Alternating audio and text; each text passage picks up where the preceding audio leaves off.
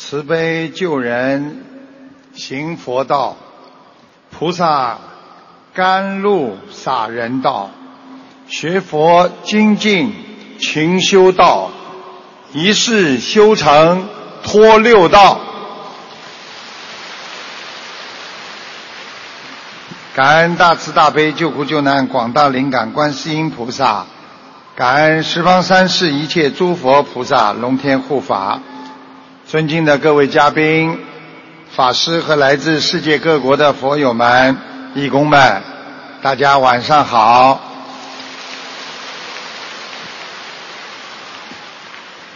这几天，我们沐浴在佛法的阳光普照下，我们品尝着观世音菩萨的慈悲，享受着人生的高境界的。法喜和快乐，因为我们抓住了希望，我们放弃了失望，我们改变了塞望，重新拥有了我们心中的智慧和展望。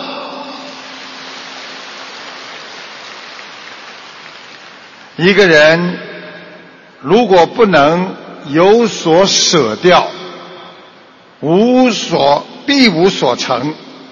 一个人要懂得舍，你才会得。放弃希望，放弃失败的是你们自己。抓住希望，抓住精进学佛的每一份光阴的人，拥有未来的也是我们自己。但是很多的人一直活在怨恨、嫉妒别人当中，他们不知道，当你拥有这些的时候，你会让自己失去很多的智慧。所以，当一个人有烦恼的时候，他就没有了智慧；当一个人拥有智慧的时候，他不会烦恼。我们学佛人跌倒了、失去了不要紧，我们知道世事无常，只要心明眼亮，心中不迷惑，只要心中有佛案，你一定能找到渡口。只要心中有把船。你才会拥有佛法的明天。今天又有近五百位弟子在天上种上了莲花，佛果佛缘成熟，恭喜你们！佛在心中。法在行中，身在戒中，皈依自信三宝，那就是我们学佛人应该拥有的智慧。今天有很多人在拜师的时候，都亲眼看见了菩萨，啊，那。大家看看有多少啊？台长都没办法一一给大家讲，大家看到了没有？师傅在台上，他偷偷的睁开眼睛，师傅非常光亮透明，身上的莲花非常大，有半个身体那么大。看到如来菩萨来了，如来菩萨非常的光亮魁梧，头上。的卷非常高大，还看到观世音菩萨，还看见像星星一样很多的闪光点，我非常激动，一直在流泪。我还看见了在澳门也看见过的凤凰南屏公修组林师兄，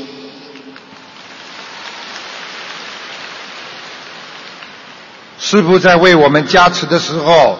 自己被一股巨大的气流托起，浑身气血飞腾，看到了佛陀，看到了一个莲花池，最后看到了一位菩萨，但是我确定不确定是不是观世音菩萨妈妈孟文君。在我闭上眼睛，感觉到自己到了南天门，看到了很漂亮的云。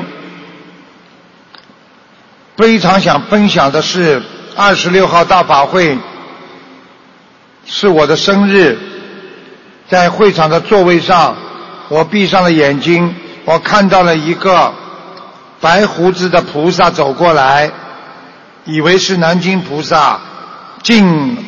到了近前一看，原来是寿星老台长，我是不是延寿了？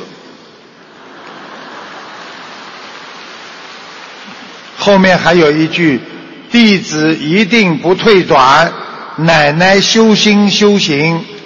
所以我看不懂了，我说怎么出来个奶奶呢？因为他两个好好的好好写的像个奶奶。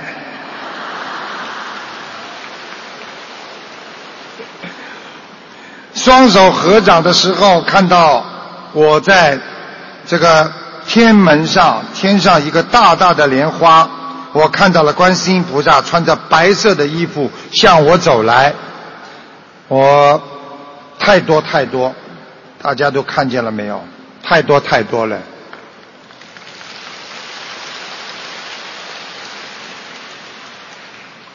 全部的菩萨都来，连我们。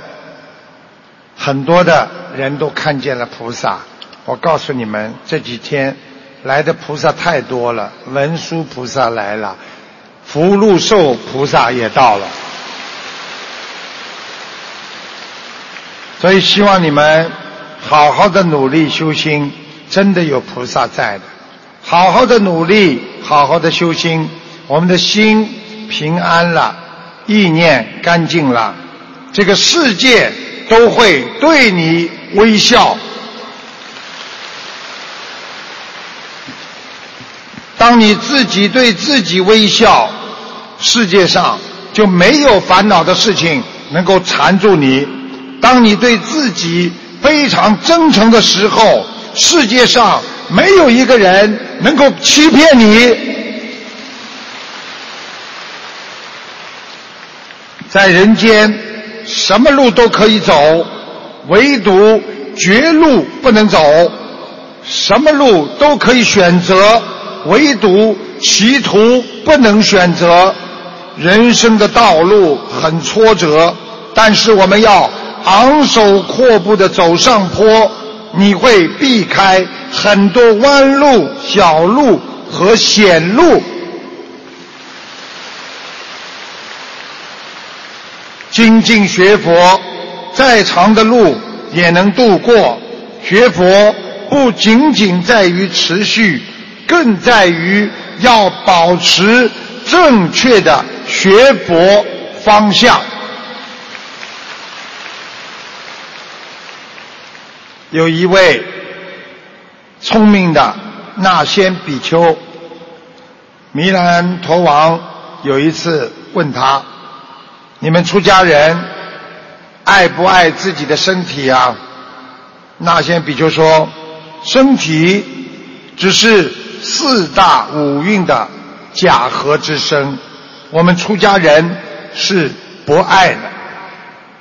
弥兰陀王一听，正中下怀，立刻反驳说：“哦，你说你们不爱你们的身体，但是你们出家人。”一样要穿衣服、吃饭、睡觉，这不是在保护你们这个色身吗？你给我说不爱他，你不是自相矛盾吗？那先比丘一笑，另作别解。他说：“大王，如果您身上长了一个脓包，你爱不爱他呢？脓包那么脏的东西。”谁会喜欢它？既然不喜欢它，为什么你要把它洗干净？要敷药，时时刻刻要不使它恶化，每天看看它有没有好一点？若说你不喜欢这个脓包，你这种做法不也是自相矛盾吗？米兰陀王非常不服气地说：“我是为了我身体的健康，我才要保护它的。”那先比丘笑着说：“这就对了，出家人不爱这个身体。”但是为了借假修真，也不得不照顾好自己这个空幻的身体呀。人如果懂得生活的真谛，就可以从一些微小的事情当中获得快乐，理解人生无常。就会拥有珍惜后的快乐。大家想一想，很多人难过、伤心，不就是因为一时的烦恼吗？你想一想，一个星期之后会不会这样？一个月之后会不会这样？一年之后、五年之后、十年之后，你还会为这个事情烦恼吗？这时候。你就对世界的万物不执着了，你会遨游在放下后的喜悦之中啦。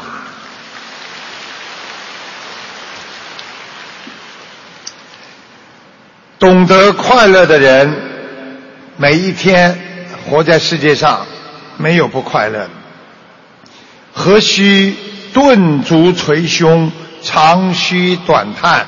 正所谓，听得春花秋月语，必先识得如云似水心。记住了，万物唯心造。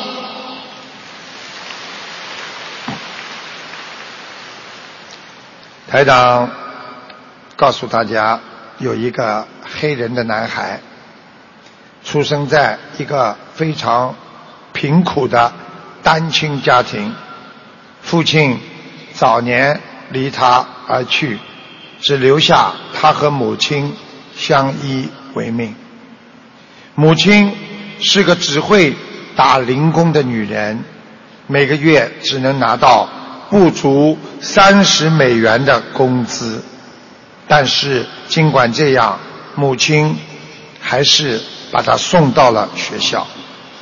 由于他的贫穷，男孩几乎在整个学校里就是一个救济的对象。但是他没有让别人看他的笑话，他的成绩一直在班级里是名列前茅。尽管成绩这么好，他也没有骄傲自满，因为他深深的领悟到。如果没有同学们的接济，无论如何他也拿不到这么好的成绩。所以，他除了用心学习以外，还提醒自己要懂得感恩、奉献爱心。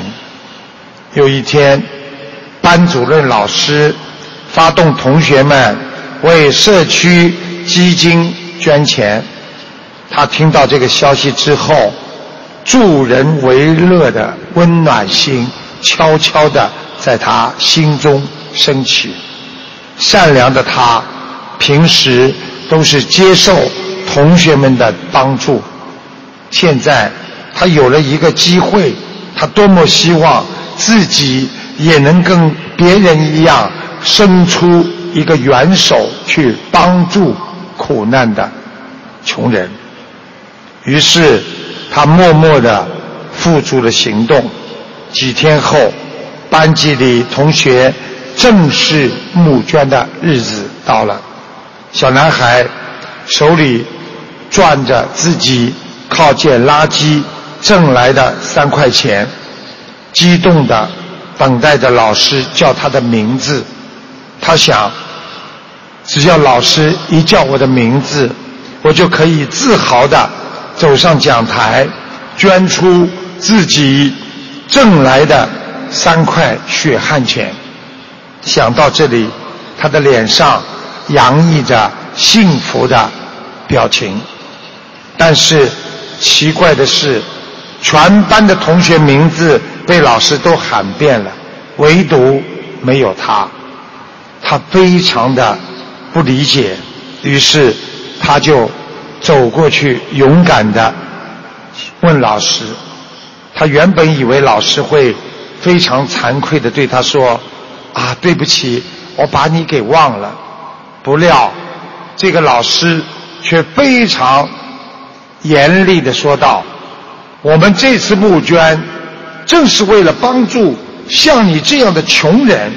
这位同学，如果你爸爸还出得起你五块钱的课外活动费，那你就不用领救济金了。”老师的话深深刺痛了他的心。那天，这个男孩含着眼泪冲出了学校。从此以后，他再没有踏进这个学校一步。光阴似箭，转眼之间，二十年过去了。有一天，男孩以及他的名字出现在美国。最出名的电视台上，人们才看到他，意识到原来那个黑人的男孩，如今已经成为美国最著名的节目主持人。他的名字叫迪克·格里娃。谈及他的成功，很多的媒体都是断定因为贫穷鼓励了他，但是。格里娃他说：“不全是，还有二十年前那场心灵的挫折，那场来自老师对我的羞辱。”有人问他：“你还跟那个老师有来往吗？”他爽朗的回答：“什么没有来往？我当上主持的第一天，我还是感恩老师，我买了。”一大束鲜花送给了他。虽然老师觉得当时的做法有一些惭愧，向他道歉，但是我深深的感恩他。我感恩曾经羞辱过我的人，因为正是他们的话使我变得更的坚强。这就叫学会感。恩，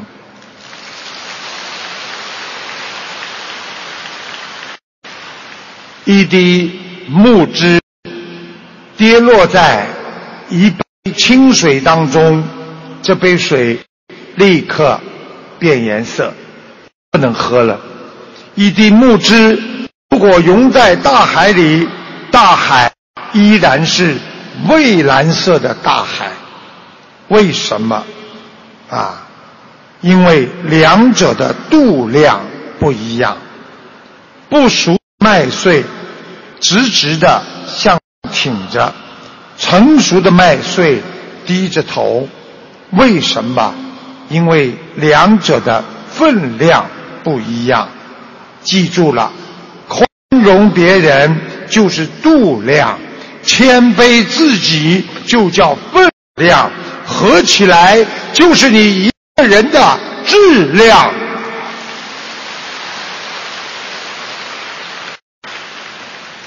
有一天，沙漠和海洋要谈判。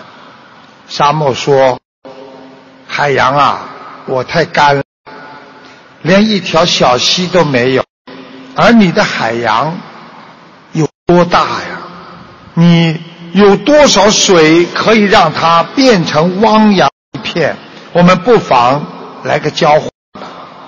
大海说：“好啊，我欢迎沙漠来填充海洋，但是我海洋已经有沙滩了，所以我只要土，不要沙。”沙漠说：“那我也喜欢海洋。”来滋润我的沙漠，但是你们海水太咸了，我只要水，不要你的盐。这个典故就是告诉我们大家，有人生看起来非常的容易，因为每个人都有很多的理想，但是做不到，办不成。所以有的人生做人也是这样，谈判也是这样，看来很简单，因为每个人都不想放弃自己的利益，所以永远不能。容纳别人的光芒，所以学会平衡你的心理，那才是学佛人的平等心啊！记住了，损害他人的人格，快乐一时，伤害自己一生，生命。是靠着相互依赖而存在的。大家想一想，人是靠着别人让自己茁壮成长的。世界上每一个人都要靠别人的帮助才会成功啊！学会感恩，学会得到别人的帮助，更要去帮助别人。我们要感恩大自然的付出，感恩父母的教养，感恩佛情友情，感恩佛法让我们开悟啊！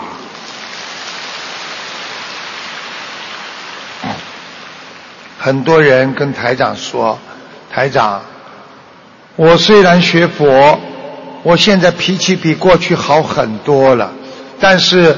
我有时候克制不住，还是想发脾气。记住了，台长跟你们说，学会不发脾气，因为发脾气一来伤害身体，二来伤害感情。人与人出生和去世都是平等的。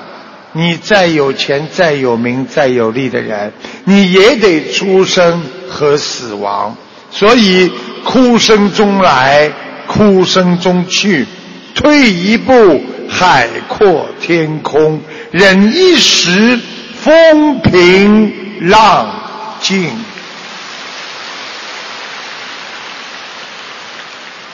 牢骚太多，肝肠断。慈悲喜舍，烦恼断。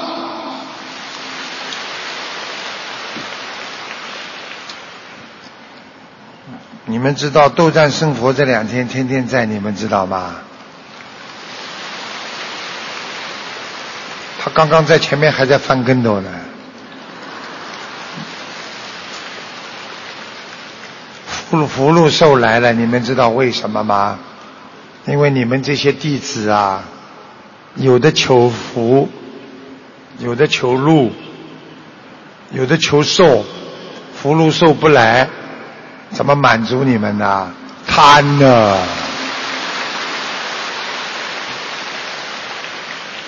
台长看到听众家里有灵性，在房顶上，是个驼背的老太太。台长并且描绘了老太太的形象，头不大。头发往后梳，耳朵很大，脖子长，腿有点弯，浓眉毛，穿着灰色的衣服。听众确认是自己的母亲。台长还看出佛台右边气场不好，原来听众挂了一幅一直没有供的菩萨像，灵性已经进去了，请大家听一下录音，谢谢。你好，师傅你好，你看看我家有没有灵性，师傅。啊，有一个，哎呦，晚上有声音的，房顶上。对对对，师傅，嗷嗷叫。哎，我告诉你，是个什么东？不是东西啊，是人呐，一个驼背的老太太呀。驼背。在你们。是我母亲吗？我母亲驼背。啊，你看看看，我告诉你呀，头不大，头小小的，往后梳的，耳朵还蛮大。对。驼背啊，但是呢，脖子呢还蛮长的，两个腿呢有点有点弯，然后呢，啊对对对，啊眉毛呢还有点浓。啊，对对对。对对对，就是他了。走路走得很慢。对对对对。穿的那种土布的衣服，很朴素的，对灰对对对灰灰的灰灰的一颜色，嗯。呃，是的，是的，对对对，师傅，哎呀，真是厉害，师傅，我真是伟大的师傅。给他好好念经呢。行，师傅，那我们家的佛台好吗？你佛台，你面对佛台的右边，气场不是太好，你自己看看有没有挂。有有有有张画，挂了一个就是有二十几年的那个菩萨像了。哦，你看，你看看看，你怎么可以挂着又不供又不烧香，那灵性进去了。哦，好好，谢谢师傅。好，谢谢大家。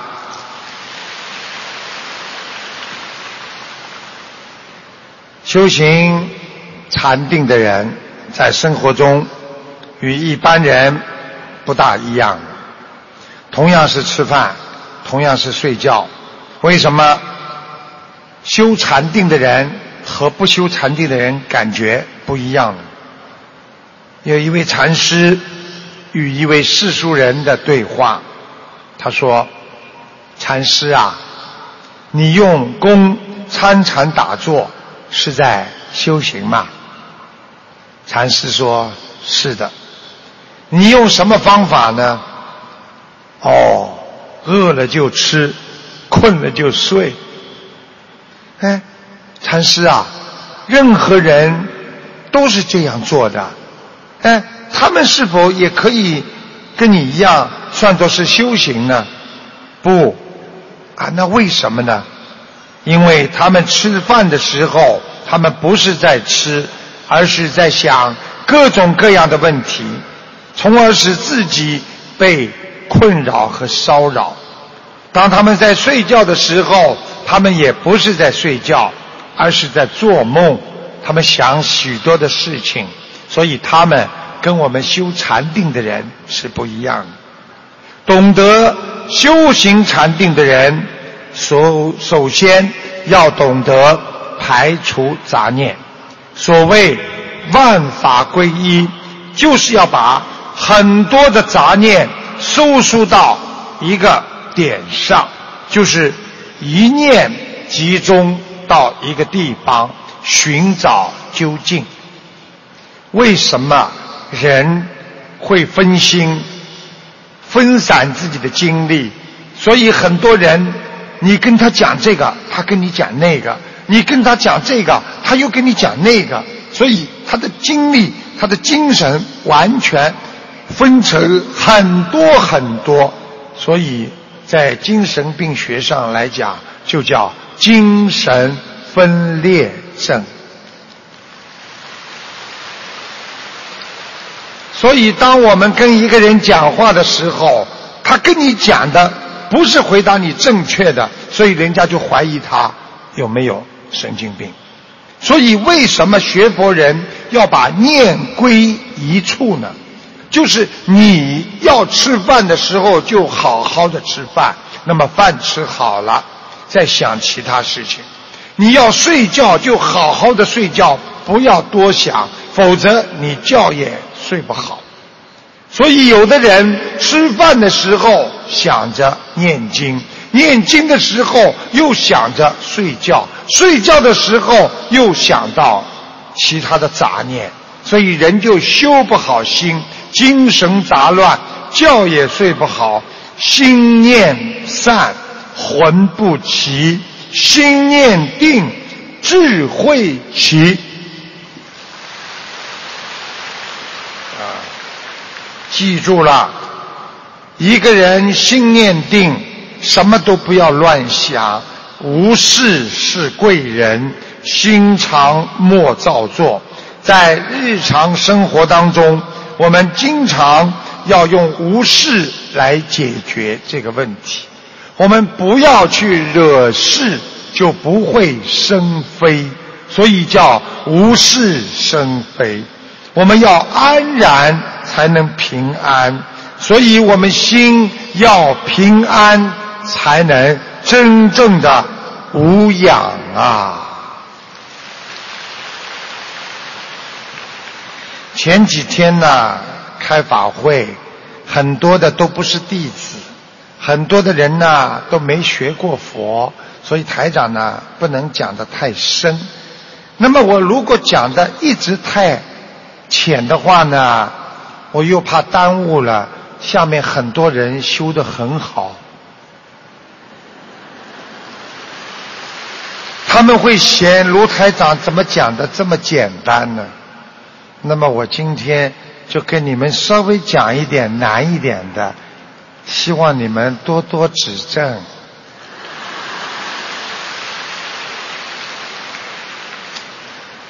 佛陀他在《佛遗教经》里边曾经说过，啊，仔细听好啦，我已经选的最简单的跟你们讲讲啦，很简单的，叫什么？知足之法，就是知足有一个方法，即是富乐安隐之处。就是说，一个人想知足，你就拥有快乐和富有。安隐之处是什么呢？不要去显，不要去化。所以，有福气的人要学会低调。他福寿延绵，知足之人虽卧地上，犹为安乐。什么意思啊？就是说我知足的人，哪怕我今天睡在地板上，我照样好好的睡觉，我很快乐。不知足者。虽处天堂，亦不称意，都是佛陀讲的话。就是说，如果你这个人不知足，就是你好像在人间的天堂一样享受，你也不会称心如意的。不知足者，虽富而贫。知足之人虽贫而富，佛陀的意思就是告诉我们：知足的人虽然很贫困，但是他心中非常的富有；而不知足的人虽然他很富有，他不停的要了还要，贪了还贪，他永远觉得不够，所以虽富。而贫啊！不知足者，常为五欲所侵；为知足者之所怜悯。这句话的意思就是说，当你不知足的人，经常被欲望控制住，自己不能解脱。被那些知足的人所怜悯，好可怜呐！这么有钱了，他还过得这么痛苦；这么富有了，他还这么可怜。听懂了吗？所以学佛人要懂得知恩图报，因为我们心有感恩。就会少生出怨气，少生出恨人家的心。时间长了，就会生出善心。我们无怨无悔的为了众生，恒生善心。大家知道为什么叫恒生吗？就是永恒的生在那里。生长在那里，现在明白了吗？所以为什么在佛经当中回向节里边有一个上报四重恩，下济三途苦啊？你们知道四重什么恩吗？你们做了弟子了，师傅就要教你们了，否则以后人家问你们。上报四重恩是哪四重啊？第一恩父母恩，第二恩国土恩。就是说，在过去讲要感恩国家，感恩这个土地生我养我的。第三，感恩上师恩，实际上就是感恩所有教导过你的老师和师傅，也就是感恩三宝恩。第四个要感恩的就是众生恩。因为我们人的成长能够活到今天，靠自己那是不可能的。从你出生有接生的护士开始，一直到你的老师、你的父母亲，到你的朋友，能够到今天，都是因为众生在帮助我们，感恩众生。这叫感恩上报四重恩，下济三途苦，什么意思啊？就是要帮助那些三途的人。那么第一途在地狱，第二途在恶鬼道，第三途在畜生道。这就是为什么不要杀生。因为畜生他也有灵性，很多自己的亲人在人间没有做好事，转世投胎成了畜生。如果你杀了他，可能你是杀害了你的亲人呐。所以要懂得，不能杀生。我们连地狱的鬼都要救。我们连恶鬼都要去帮助他们，连畜生都要爱护他们，这就叫下济三途苦啊！现在知道了吗？否则跑出去，人家问你们心灵法门是什么？小房子。要学佛法的，你们没有进佛门之前，你们当然知道小房子，对不对呀？学了佛之后，要好好研究佛经啊，要好好懂得佛经啊，什么都要学呀。你们想想看，就是放生，你们都要当心啊。所以。印光大师曾经对放生，他也有过开示。他说：“买物放生与布施同，须善设法，勿立定期，勿认定地，勿意定物，随缘买放，生得实益。若定期、定地、定物，则是出人。”多补益呀！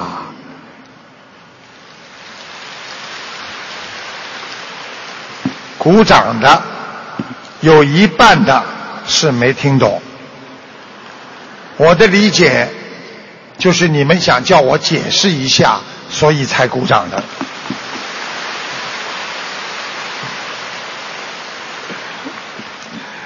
就是说。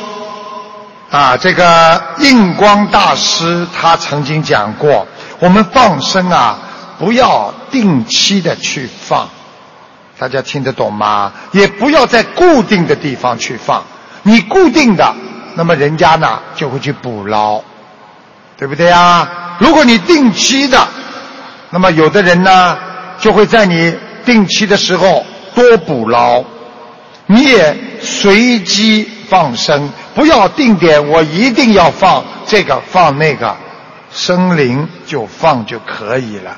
机缘到了就可以放生。实际上，印光大师就是让我们知道，我们要救刀下魂。别人要杀的，你在边上看着，看到刚刚拿起刀，哎，我买这条鱼。啊，我要这个。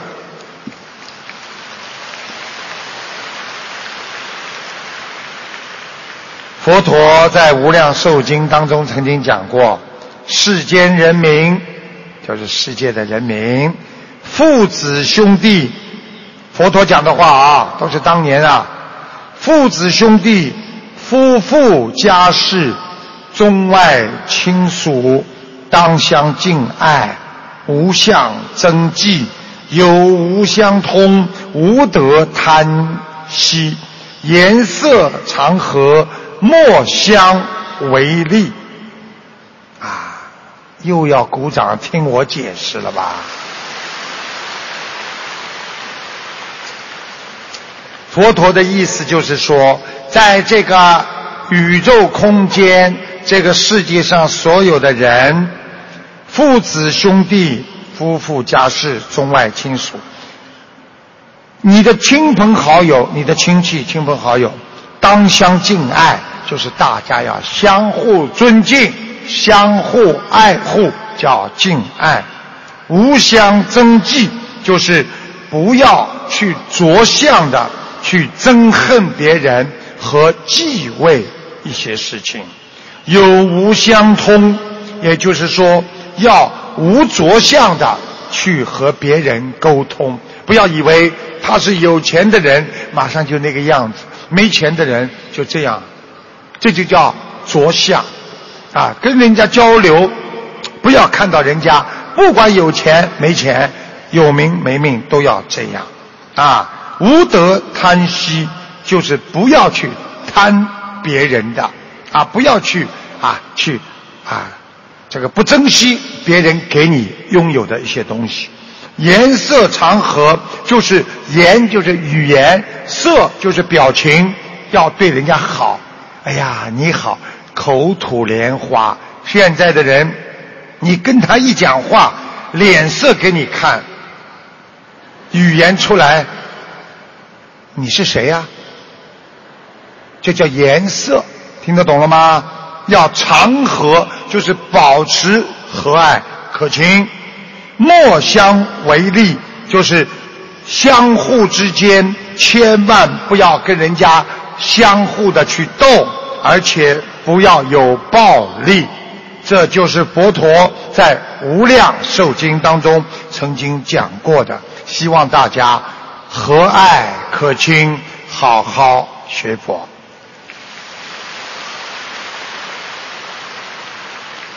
他们今天给我时间很短呢，但是呢，台长很坚强，不管给我多少时间，我归我照样讲。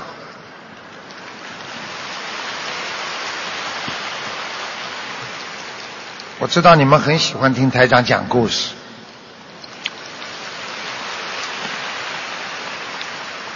春秋时期，就是孔老夫子当年春秋战国时期，楚国城里边有一个铁匠，打铁的，他的手艺非常的精湛，无论打造兵器还是制作农具，哎呀，供不应求。看到自己的手艺这么受欢迎，铁匠就让他的儿子跟着他学打铁。他对于自己的儿子铁匠毫无保留的教他，几十年的经验全部教了他，而且他为了让儿子学得更快，少走弯路，这个铁匠几乎是手把手的去教他如何炼铁，如何打磨成型，在父子俩的齐心合力下，每一件做成的铁器都非常的精美。流光飞转，儿子很快的成年了。老铁匠就打算着让自己的儿子在城里也开这么一个铁匠铺，去独立谋生。他认为儿子的手艺绝对有这个实力，可他怎么没想到，儿子一开铁匠铺之后，没多久，非但生意没有兴隆。受很多人的指责，说他打铁打得不好。他的儿子说，人们都说打造出来的铁器很多的瑕疵，无奈儿子的铁匠铺只能半途夭折关门了。这个铁匠非常的悲伤，更有疑惑：我教儿子这么认真，儿子学的这么刻苦努力。为什么会没学成呢？有一次，大教育家孔老夫子来到了楚国，铁匠早就耳闻于孔子善于悦人，就是教育别人，他就找圣人来解这个迷惑。孔子听了这个铁匠的疑惑之后，就问他：“老人家，你可是一直手把手的在教他炼铁啊？”铁匠点点头。在你手把手的指点下，你的儿子是不是一次都没有出过错？打出来的铁都是非常的完美啊！孔老夫子一问，铁匠又点了点头。两个问题问完，孔老夫子啊，这个捻着虚而笑啊。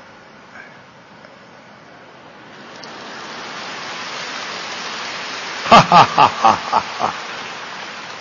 问题呀，就是出在他从来没有出过的错上。你总是手把手教他把铁器打得这么好，你一点出错的机会都没有留给他，他怎能学得好啊？要知道，练好一门技术需要好的经验，跟需要错的教训啊。这个故事就是告诉我们，做人不要怕做错事情，做错事情可以给自己增长见识和经验。我们人就是在跌打、摔倒中爬起来，继续往前走的。要想寻找完美无瑕，那是不可能的。我们多少人学佛，不就是因为在人生的道路上，在自己的生活上，在家庭问题上，在前途上遇到了各种各样的烦恼，才会寻找一个让自己解脱、变得更能够解决般若智慧、拥有般若智慧这么一个方法，才来学佛的嘛。人活在世界上，要学会控制好自己，抓住每一分钟的快乐，你就少一分忧愁。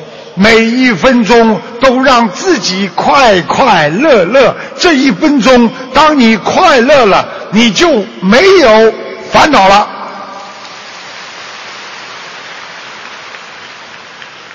要学佛，心情舒畅，善待别人，善待别人就是善待自己。人最大的缺点就是生气，所以不要自己找气来生，不要自己硬要生出气来生。你不生，哪来的气？你越生气越多，所以不生气，那就是保持自己健康和心灵健康的金钥匙。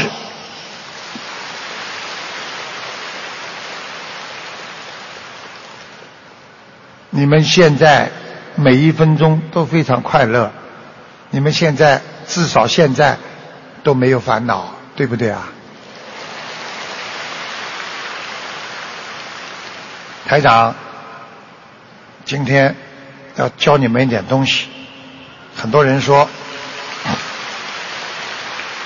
我问你，身体外面脏了，用什么方法啊洗澡？对不对啊？那么内脏脏了怎么办呢？想不出来了吧？大量喝水，里边洗澡。现在听懂了吗？《黄帝内经》讲过，水是最好的药，所以大量喝水，把肠子、肝呐什么都洗一遍，排泄掉，你不就在里边洗澡了吗？那么精神上洗澡用什么方法呢？许愿、念经、放生。我们每个人虽然身体在忙，但是心里要安静。越安静的人越不慌张，越不慌张的人越定得住。所以我们学佛就是要戒很多的人间的不好的欲望。我们要定的心下来，心要定得下来，然后呢才会。安静生出智慧，佛法天天在讲戒定慧，善念长存，心安理得，问心无愧，来修行，你就是一个人间菩萨。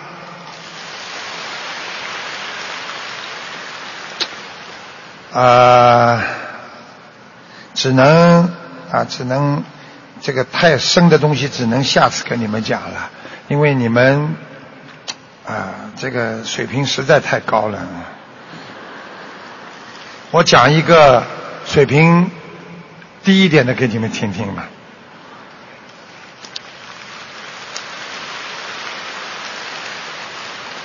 其实台长很爱你们弟子，台长觉得你们真的找到家了。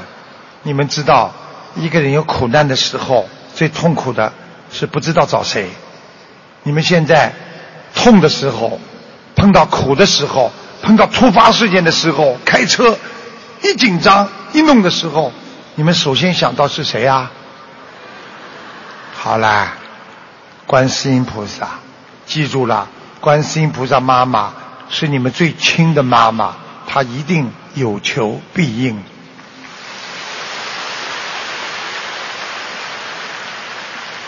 大家听好了啊！有一名美国警察费了好多的劲，将一名阿根廷的抢劫犯缉拿归案，把那个抢劫犯抓到了。他为了让抢劫犯供出他抢来的钱放在哪里，但是他不懂那个阿根廷的话，西班牙语嘛，他们讲西班牙语，他找了一个翻译，是西班牙人。来为这位抢劫犯翻译。警察冲着这个抢劫犯说：“老实交代，钱放在哪里了？”翻译就对着抢劫犯翻译道：“俺过这面儿到这儿去了，到这就是意思，老实交代，钱放哪里了？抢劫犯说：“我死也不说。”这个翻译马上啊，过到了去了去了，一字不漏的。翻译给警察，我死也不说。警察大怒，拔出手枪，对着抢劫犯吼道：“你如果不说，我一枪毙了你！”顶住他的脑子。这个翻译没有表情的，就翻译了一遍：“你要是再不说，我就一枪毙了你。”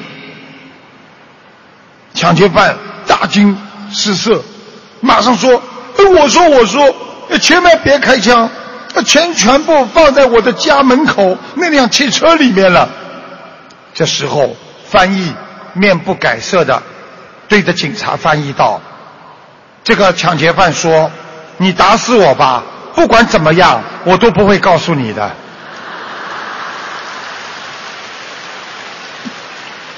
听懂了吗？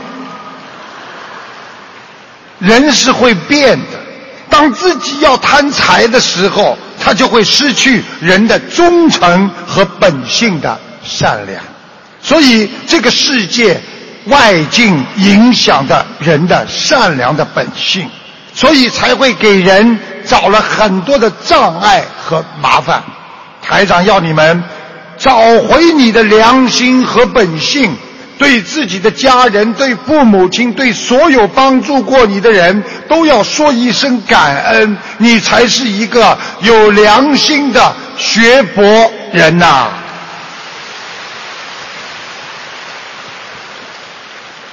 那个台长有一个听众啊，台长帮他妈妈看图腾啊，因为这个。台长告诉他，二月份的时候，啊，台长就告诉他不要临时抱佛脚，啊，有麻烦的。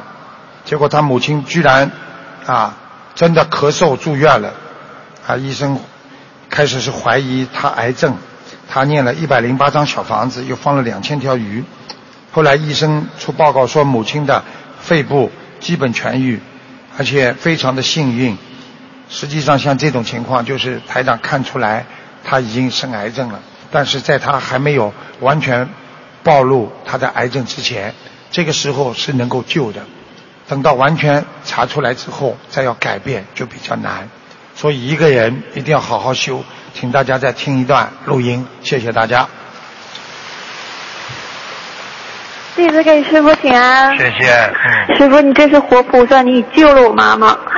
嗯，应该说半个月前周日就是悬疑问答，您说不管是恶性还是良性都要动一刀。然后我回来，我就是给妈妈念了一百零八张小房子，然后两两两天就是又又放了两千条鱼。原来我们放了一万条鱼，然后念了前后两百多张小房子，现在一共是念了三百多张。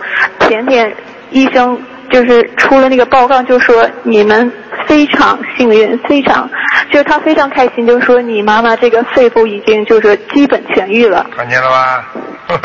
然后一开始他都说，他都说，我都一开始没敢告诉你们，他怀疑是癌症。然后他就说，说你们应该赶紧回家跳歌呃跳舞唱歌去吧。然后我就说，我就说菩萨太慈悲了。你现在知道救救命吗？就这么救的呀。就是二月份的时候，我在梦中，师傅你就给我妈妈看图腾，然后就说我不要临时抱佛脚，一定要去做，否则你会后悔的。然后我当时就放生一万条鱼，然后给妈妈念了这么多张小房子，但是这个业力还是没压住。然后后来妈妈突然咳嗽，我马上又许了一百零八张，就到现在。然后明天就是我妈妈出院了，就是说明天我再告诉更多的人。不要临时抱佛脚，不要不相信菩萨，不相信师傅，不相信心灵法门。感恩菩萨，感恩师傅。谢谢。啊，所谓放下自己，就是去除你心中的分别心、是非心、得失心、执着心。所以放下自己过去的事情、不开心的事情，你就放下了烦恼。你不担忧你的未来会怎么样，因为未来你只管去做，就算做的不好，它也会转变。所以不执着现在，你的内心就会平静。很多事情我们不是求来的，是修来的。你既然急也急不到，你为什么不好好放下？所以放下是一种大度，是一种彻悟，是一种啊本性。唯有放下。才能得到真正的解脱。我今天师傅放不下，我放不下你们，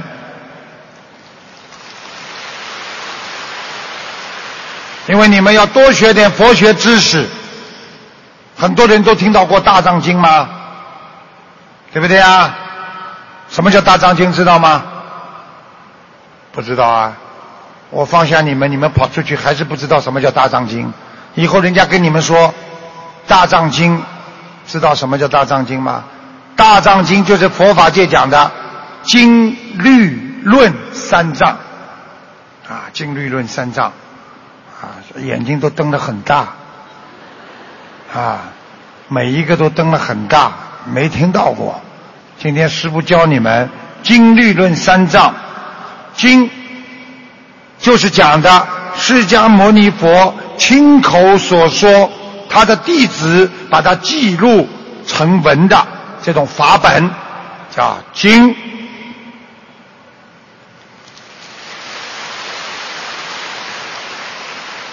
律就是说佛陀在世的时候为弟子们所传授。所制定的戒律叫律，台长讲话清楚吧？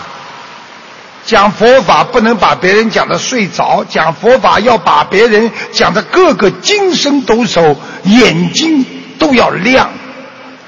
不戴眼镜的人眼睛很亮，戴了眼镜的人，他的眼珠子要凸出来，碰到镜片。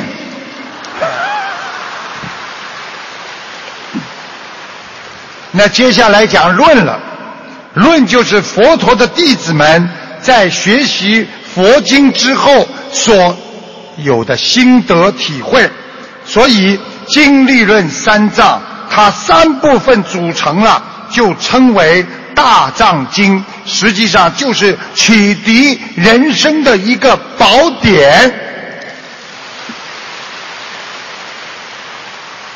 啊，大藏经里边包含着伦理、道德、哲学、文学、艺术，所以经典里边比较重要的经典，像《金刚经》啊、大悲咒啊、心经啊、啊人言咒啊、华严经啊、阿弥陀经啊等等，都是非常经典，都是佛陀的。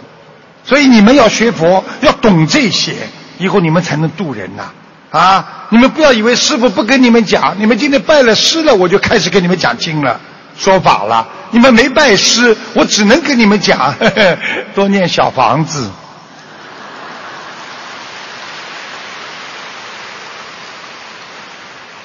所以今天呢，真的时间不够了。其实我真的准备了很多，台长呢真的是，但是呢，再怎么减，那本来呢，我我看看明天有没有时间。我本来想教你们去怎么样让自己呀、身上这种负能量，不开心叫负能量，哎呀，很难过啦，呃，痛苦啦，在哭的时候，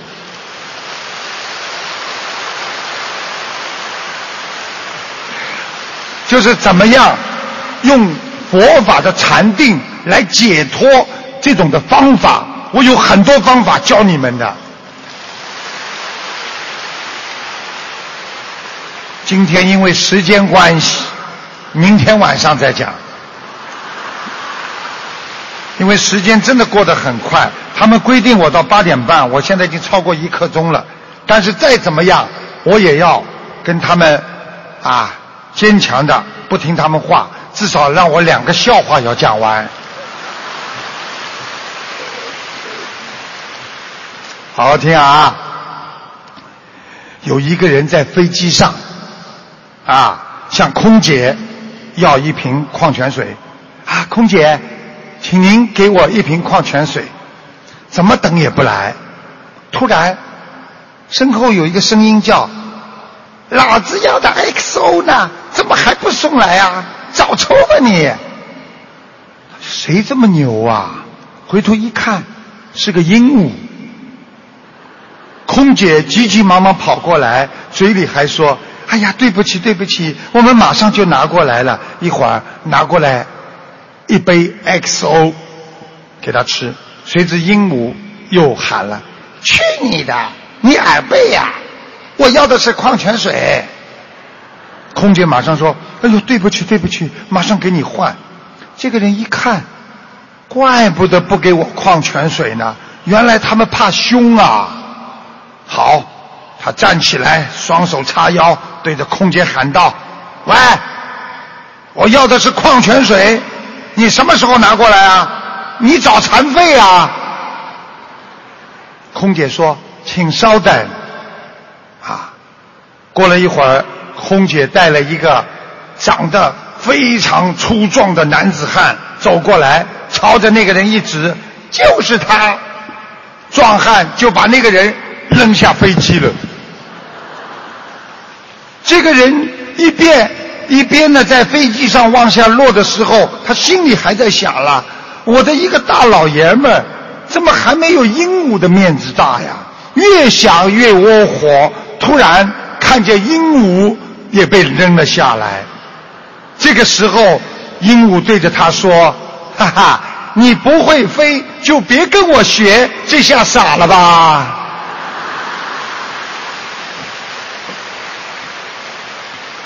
这个故事就是告诉你们，每个人都会有自己每个人的能力，每个人都有自己的长处。我们处理问题要扬长避短，不能生搬硬套。学别人的做法，有时候你学的反而让自己的慧命和遭遇都不一样，所以不要去嫉妒，不要去学别人，要学别人好的地方，要适可而止，量力而行，让自己最适合能够发挥的一些长处，才能把自己最好的能力发挥出来。还要听吗？还有一个，有一个人呐、整天愁眉苦脸的。一天，他被朋友见到了，老兄啊，哎，你怎么整天愁眉苦脸呢？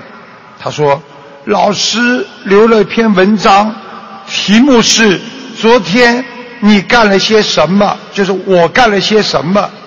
那个朋友说，那你昨天干了什么，你就写什么不就得了吗？你昨天干什么了？嗯，我喝了一天酒。他朋友说：“哎，你怎么这么傻的呢？我告诉你呀、你就这么写，凡是在文章当中出现酒、喝酒的字眼，你就把它改成读书，不就可以了吗？”结果第二天，他写出来的文章是这样的：我一早起来就读了半本书。接着我想了一想，我又把后半本书一口气读完了。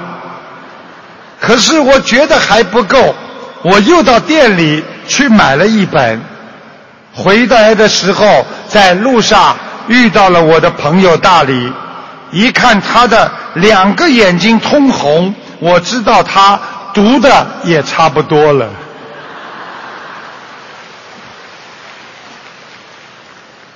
鼓掌不热烈，没办法，鼓掌不热烈，我只能再讲一个短的，增加一个。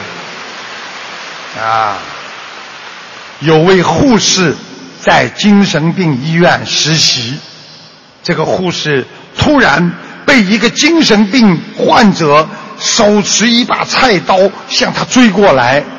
追他，这个护士转头就跑，拼命的逃，逃到一条死胡同的时候，这个护士想，完了，我肯定要被神经病杀了。突然，神经病转过身，对着护士大叫：“给你刀，轮到你追我了！”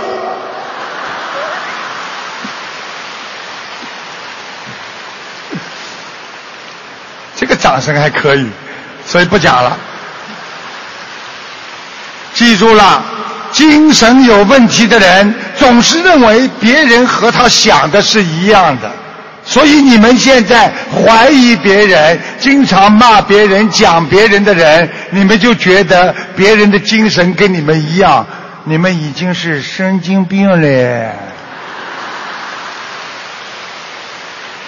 好好学佛，好好修心，拥有这么美好的时光，拥有这么好的佛法。佛陀在两千五百年传下的佛法，到今天还能让我们在苦海当中不停的在法海当中能够得到救度。我们要感恩我们伟大的佛陀释迦牟尼佛，感恩我们最最慈悲的观世音菩萨。